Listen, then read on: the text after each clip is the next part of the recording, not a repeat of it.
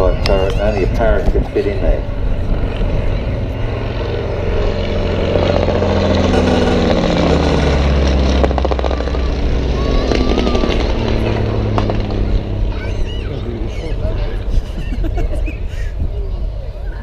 Yeah, he's been very lucky.